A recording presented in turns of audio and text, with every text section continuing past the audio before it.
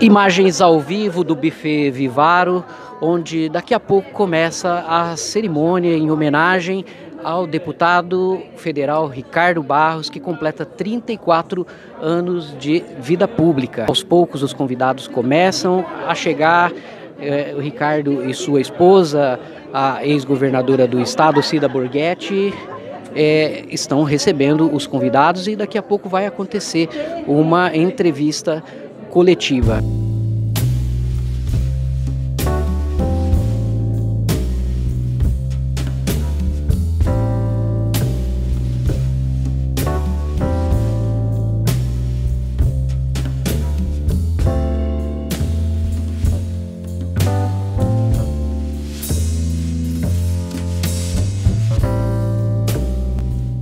Gente lembra né, que o Ricardo começou a sua vida pública antes mesmo de ter um cargo eletivo. Ele começou a sua vida pública é, dentro da prefeitura de Maringá, foi diretor da, da Urbamar e depois em 1988, 89, é, surpreendeu todo mundo quando partiu é, para as eleições como pelo é, extinto partido PFL como candidato a prefeito de Maringá. Na época, a, até a metade da campanha, Ricardo tinha é, menos de 2%, aos poucos foi ganhando espaço, aos poucos foi ganhando.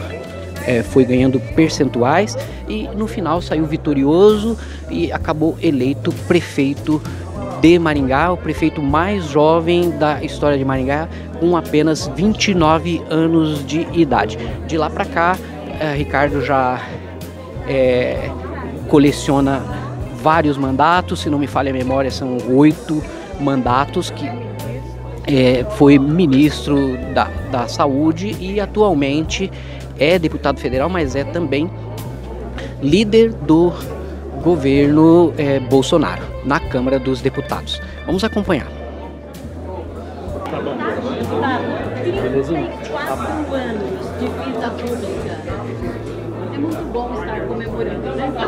É uma homenagem dos nossos ex-secretários, colaboradores. É, estamos comemorando a data que eu me filiei para ser candidato a prefeito de Maringá. É, então, seu Moisés Carolina era presidente do partido à época e foi uma campanha que ganhamos de virada, uma campanha vitoriosa.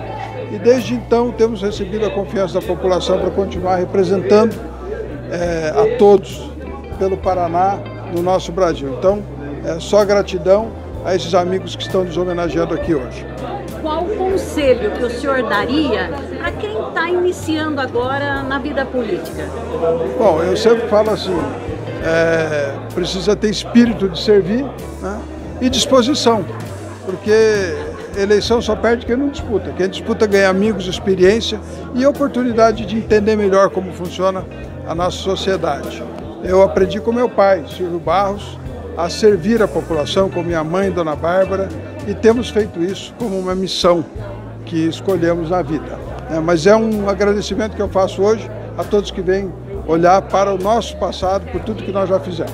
Ricardo, o senhor hoje estava trabalhando na PEC dos benefícios, como ficou o resultado? A PEC dos benefícios dá mil reais de vale aos caminhoneiros, a PEC dos benefícios é, dobra o Vale Gás, que era bimensal, passa a ser mensal, auxilia os municípios para não aumentar o preço do transporte coletivo, pagando o transporte dos idosos, amplia o Programa Alimentar Brasil, que compra da agricultura familiar para dar aos que mais necessitam, através dos programas sociais, o, aumenta o Auxílio Brasil, de 400 para 600 reais. Então, é um programa amplo que, de recursos que já estão arrecadados, já estão no caixa, porque é, não estavam previstos essas arrecadações no orçamento da União, então não há endividamento, é aplicação do que foi arrecadado a mais para atender as pessoas que foram afetadas pela crise da pandemia e pela crise do aumento de preço petróleo. Votamos hoje na comissão especial e votaremos na próxima terça-feira no plenário, porque né, em função de que atrasou na comissão não conseguiremos votar hoje no plenário. Eu estava até agora votando aqui pelo aplicativo, mas a sessão está suspensa agora. Deputado, você imaginava 34 anos atrás, quando decidiu entrar na política, que tudo ocorreria dessa maneira? O que você planejou lá atrás? Olha, quando eu comecei, eu era o sexto de seis candidatos, né? Então, é uma eleição improvável que acabou se viabilizando.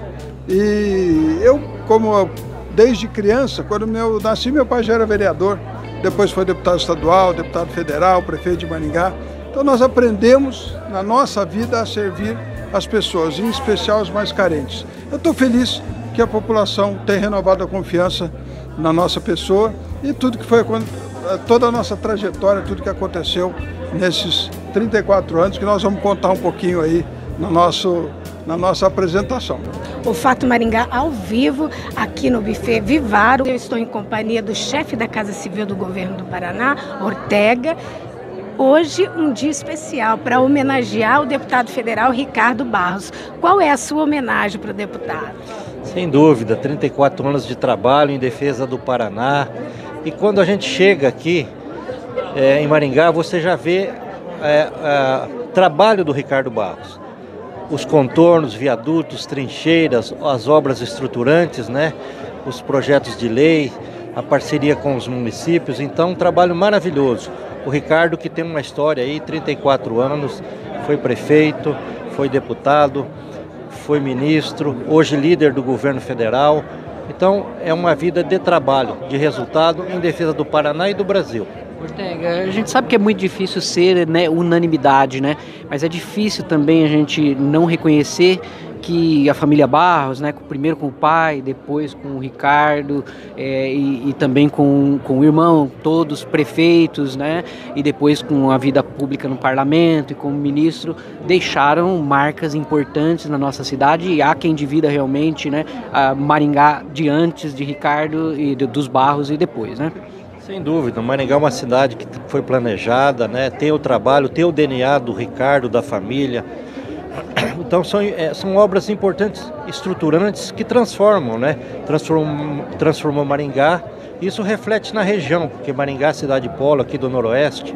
Então é um trabalho maravilhoso que a gente reconhece, por isso estamos aqui hoje para prestigiar esse grande político gestor, que é o Ricardo Barros. Eu participei em bastante obras importantes, impactantes para o município de Maringá, que foi o início da obra do aeroporto, o início e finalização dessa ampliação de 81 milhões, foram recursos federais, também trazidos pelo, pelo deputado Ricardo Barros, e também um embrólio bastante grande que eram os viadutos perna de pau, né? Há 12 anos que a população estava pedindo, né, a conclusão dessa, dessa fase do contorno norte e que agora já está em fase final de conclusão. E na época a gente conseguiu licitar a, o projeto, fazer a aprovação no DENIT, que é bastante complexa, e também tivemos todo um apoio assim com relação a isso. E o terminal urbano também, que a gente, quando a gente teve como secretário de obras, concluímos aqui em Maringá. Então, grandes obras estruturantes que a gente participou. E agora no governo do estado, no governo Ratinho Júnior, nós estamos liberando mais de 1,1 bilhões de reais em todos os municípios do estado do Paraná. Então, é uma infraestrutura urbana geral de pavimentação, creches, escolas, postos de saúde, enfim, obras de infraestrutura em todos os municípios do Paraná. E nós estamos representando Maringá lá com bastante orgulho, né, trabalhando para eh, esses recursos realmente serem entregues e realizados aí para os municípios da nossa região e todo o estado do Paraná. E qual a sua mensagem para o deputado? Olha, que ele continue né, firme aí, porque é um deputado muito proativo, ele que realmente é um de realizações, é um deputado que realiza grandes obras e traz bastante recursos para a cidade, não só para Maringá, mas para todo o estado do Paraná. Então é importante realmente ele continuar como nosso representante a nível federal. Prefeita Ivonéia, tudo bem? Como é que você está? Ligiane do portal Fato Maringá. Isso. Hoje você veio prestigiar o deputado federal nessa homenagem né, de 34 Isso. anos. Qual a mensagem a senhora, a senhora traz para o deputado? Uma mensagem de agradecimento. Ricardo Barros é um, um, político de resultado, um político assim, indiferente de que lado você esteja, ele é aquela pessoa municipalista que ajuda nas necessidades. Então, Mandaguari é um grande agradecimento nosso né, como enquanto prefeita, de estar aqui agradecendo o trabalho do Ricardo Barros. Um dos vereadores com mais tempo na casa, né? Oito mandatos. Oito mandatos e hoje está aqui para prestigiar o deputado federal Ricardo Barros. Qual a sua mensagem o senhor traz para o deputado? Ah, o Ricardo Barros é um, um, deputado que trouxe muita verba para o nosso, nosso município. Um do, dos deputados federal que mais verba trouxe para nossa cidade. Comecei a campanha, comecei minha política com ele, né?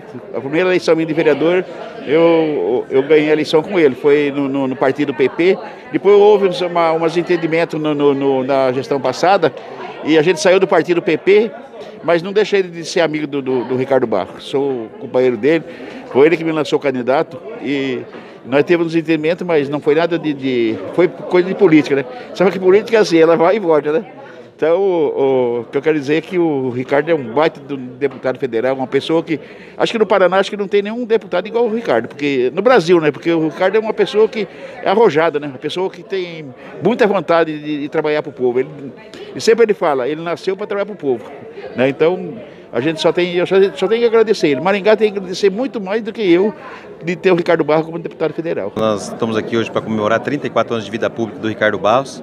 Eu acho que nós da região nós sabemos a importância que o Ricardo é para a região, respeitamos todos os gestores, eu acho que Maringá está bem servida com, com, os nossos gestores e o Ricardo faz parte da história de Maringá. A família Barros faz parte da história de Maringá. Então é um privilégio estar prestigiando essa homenagem ao deputado federal. Com certeza, nós que viemos dessa nova geração política, nós temos que ajudar o tanto quanto eles fizeram para o Maringá. Eu acho que é obrigação nossa e o bom exemplo deve ser seguido. E é isso que nós fazemos. Muito obrigada. Obrigada. Bom trabalho. Agora nós estamos aqui também na companhia do prefeito de Sarandi, Walter Volpato, que veio prestigiar essa cerimônia dos 34 anos do deputado federal. Qual é a sua homenagem para o deputado? É, nós só temos é, agradecer ao Ricardo, né?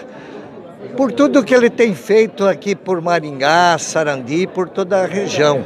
O Ricardo está completando 34 anos de vida pública mas eu digo que ele tem mais, porque ele segue os caminhos do pai dele, do Silvio Barros, quando foi prefeito em Maringá, deputado também, e o Ricardo seguiu os caminhos. Acompanhei o Ricardo quando foi prefeito pela primeira vez e ali não parou mais. Então, é, nós temos que agradecer ao Ricardo por tudo que ele faz, por Maringá, por Sarandi, pelo Paraná, pelo Brasil, sendo o líder do nosso presidente Bolsonaro. Então, é, Ricardo, Deus que te abençoe e continue com essa garra para que a gente possa ter cada dia melhor a nossa região e o nosso Brasil. Bom, pr primeiro que a honra é minha. Deixa eu até, até falar para vocês, tem gente que talvez não saiba, mas eu trabalhei sete anos da minha vida como médico aqui em Maringá. Então eu fui médico do posto de saúde da, ali do, da, próximo da Cerro Azul, Zona Sul. Fiquei um ano e pouco ali, depois mais de cinco anos no posto de saúde da, da Zona Norte, é, o posto de saúde do, do Alvorada e depois no, no HU. Então eu tenho um carinho muito grande por, por Maringá, uma cidade linda, maravilhosa, não é? E o Ricardo dispensa apresentações, né? Enfim, eu creio que o Ricardo hoje é um patrimônio do Paraná é, independente da, da cidade, o, o, que ele pode lá em Brasília conseguir de recursos para obras, melhorias, para que o Estado cresça, se desenvolva, essa é uma realidade. Isso a gente observa aqui na cidade de Maringá com grandes obras que geram desenvolvimento. Em Londrina a gente é muito grato também, não só obras físicas, né, mas obras sociais também, como por exemplo no, no Ministério da, da Saúde, o Ricardo, por exemplo, destinou recursos para que a cidade pudesse fazer mutirões de saúde, então, de cirurgias ginecológicas, mutirão de dentadura, né? mutirão de, de, de pessoa que tem é, problema de visão, que tem catarata, mutirão de aparelho auditivo, enfim, tantas benfeitorias. Eu só tenho gratidão ao, ao Ricardo por, por isso, que ele tem ajudado não só Londrina, Maringá, mas todo o Paraná. Marcelo, é, existe essa questão né, do DNA político, né? Você vem né, de uma família de políticos, seu pai foi, foi prefeito. Tio, tio é, seu tio foi prefeito, todo mundo, ninguém esquece, vamos dizer assim, uma, uma obra que é o, o, o, chamado Os Cinco Conjuntos, né, que é casa de casas populares, foi muito importante. E o Ricardo também, né, com, com o pai e depois com o irmão. É, é, a carreira política é, é um dom, é, a pessoa precisa realmente ter isso no, no sangue. Qual é o conselho que você daria para alguém que quer entrar na política? Primeiro que a pessoa tem que ser despreendida. Né? A função de quem está na vida pública é servir. Né? Então, por exemplo, como prefeito, é, é 24 horas por dia de trabalho, de domingo a domingo. Né? É, eu, por exemplo, meu celular é o mesmo celular desde que, desde que eu tirei o primeiro celular, quando lançaram o celular lá na década de de 90. Então eu gosto de estar em contato com, com as pessoas, ouvindo a, população e, e eu encaro a vida pública como uma missão. Então quem quiser entrar para a política, para a vida pública, tem que entender que isso é uma missão.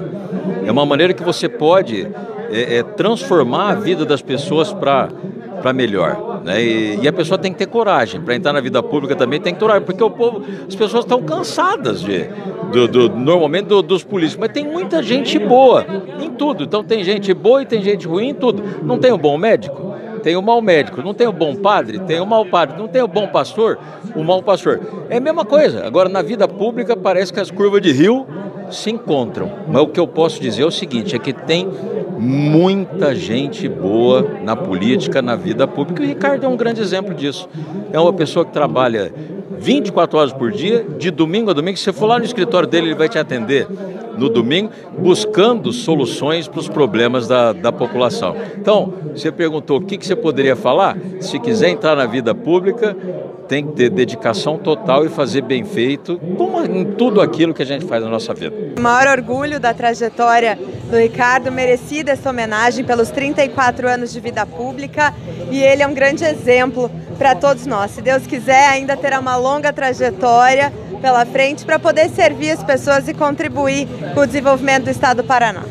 A sua mensagem que você gostaria de deixar para o deputado federal Ricardo Barros? Parabéns, pai. Você é o maior exemplo que a gente podia ter em casa. Falar do Ricardo não é, é muito gratificante porque se manter na vida pública hoje em dia por 34 anos, realmente a pessoa tem que ser é, é, muito boa no que faz, principalmente nos dias, né, nas políticas dos dias de hoje. E eu só tenho que agradecer ao deputado porque ele realmente é um deputado municipalista que trabalha para os municípios, né, e que ele continue sempre assim. O Ricardo é uma pessoa que sabe se posicionar, é um político que conhece os trâmites em Brasília, que sempre auxiliou os prefeitos e eu, como prefeito de Maringá na época, só tenho que agradecer, porque para cá vieram inúmeros recursos. Contorno Norte, Contorno Sul, ajudou nós no terminal intermodal de Maringá, na Avenida Morangueira, na Cacogawa, é? e agora o, o Hospital da Criança. Então, tudo isso são recursos que foram trazidos com a ajuda também do deputado federal do Ricardo Barros. Então, só tenho que agradecer e que ele continue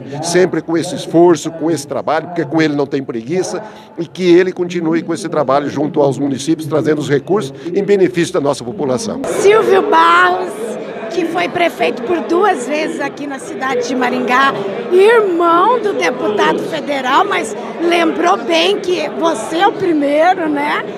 É um dia especial para o deputado federal Ricardo Barros, essa homenagem, 34 anos de vida política, não é fácil. Qual é a sua mensagem? É verdade. Na, na realidade, nós estamos comemorando, o, dando parabéns para Maringá por, por tudo que o Ricardo fez, continua fazendo e vai fazer ainda por essa cidade. O mandato dele, como ele mesmo diz, não é dele, é da comunidade. Portanto, ele está aqui para trabalhar por Maringá e isto, sem dúvida alguma, ele faz sem descanso. Então, estamos aqui para, de fato, prestar uma homenagem, um reconhecimento a esse esforço, esse trabalho maravilhoso que ele faz pela nossa cidade. Bom, na verdade, o Ricardo Barros aí está completando 34 anos de vida pública. Só que eu estou completando 39 anos de vida pública já. Então eu acompanho a vida do Ricardo desde ele come... quando ele começou como prefeito da cidade de Maringá. E desde aquela época que ele tinha 29 anos, ele era diferente de todos nós. Sabe? Um rapaz novo de 29 anos, na época solteiro, e já trouxe o presidente da República aqui na nossa cidade, que é o Fernando Collor de Mello. E ele tinha um comportamento diferente, muito ousado no, no seu procedimento, nas suas obras, na coragem. Então eu estava, como disse no meu pronunciamento, onde a gente anda nessa cidade, as grandes obras que nós estamos vendo, seja do prefeito do tempo do, do PT, seja do, do, do Silvio Barro, seja do Pupim, do, do próprio Ulisses Maia, não tem nada, nenhuma obra de vulto que não tem o trabalho que o Ricardo Barros fez para trazer recurso federal. Então nós só temos que agradecer ao deputado e pedir a Deus que dê bastante saúde, muita saúde para ele e que ele continue lá na Câmara dos Deputados por muitos e muitos anos, porque a cidade de Maringá e todo o estado do Paraná só tem a ganhar com a presença dele lá. Pois é, a gente tem que parabenizar o deputado Ricardo Barros pelo todo o trabalho feito, não só em Maringá, mas também em todo o país. É um político que eu admiro muito pela sua questão do resultado, né? Então hoje, infelizmente, nós vivemos numa época em que grande parte da política vive apenas de opinião e muito pouco resultado. O Ricardo é daquela época que era pouca conversa e muito resultado. E as pessoas, de fato, é, é, gostam disso porque o resultado é o que faz você pagar menos na sua conta de água, na sua conta de luz, que faz você ter as obras no seu município. E ao lado, do outro lado, nós temos os políticos que só conversam, que só têm opinião, que só brigam e que não trazem resultado nenhum para a população. Espero que a classe política cada vez mais é, consiga retornar aquilo que a gente viu no passado, que são os políticos realmente de pouca conversa e muito resultado. Parabéns, Ricardo. É engraçado que eu estava falando aqui na mesa. Eu tenho 36 anos, ele tem quase a minha idade só de vida pública.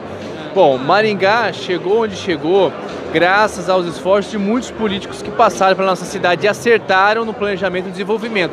Mas é impossível você não dar uma importância muito alta à história não só do Ricardo, né, mas do pai e também do Silvio, que ajudaram a construir Maringá do jeito que ela é. Uma cidade com planejamento, com desenvolvimento econômico, pujante, forte e que não para de crescer. Então, esses 34 anos eu faço uma reflexão, né? Eu estou entrando na vida pública, ver tudo que ele construiu, né, as mudanças que ele fez na cidade, que hoje a gente se usufrui de coisas que foram feitas há 10, 15, 20 anos atrás. Então, parabéns ao Ricardo e que cada vez mais nós tenhamos mais políticos que tenham o amor e o carinho por Maringá, assim como o Ricardo e toda a sua família. É, no exato momento em que o deputado Ricardo Barros vai começar a discursar aqui no Buffet Vivaro e a gente vai acompanhar para você. Por isso, nossa Constituição assim, todos são iguais perante a lei. Eu vou continuar lutando para que todos, quando é, paguem pelos seus direitos. E vamos acabar com essa frase de inimputáveis que nos acusam, nos desgraçam, depois não provam e não são verdades. Perguntamos